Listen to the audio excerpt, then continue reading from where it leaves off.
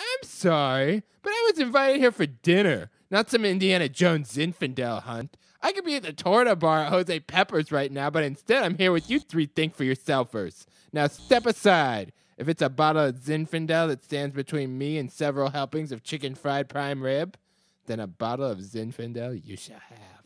What the fuck is chicken fried prime rib? I don't know, but mom definitely doesn't know how to make anything except corn dogs. For sure.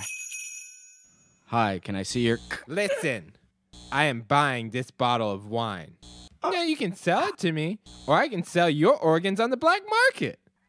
So far tonight, your little power trip has cost me 25 minutes that I could have spent eating a delicious chicken fried prime rib dinner. So while I hold your fragile little life in my stainless steel fingertips, I ask you, cashier, do you need my ID? Do you?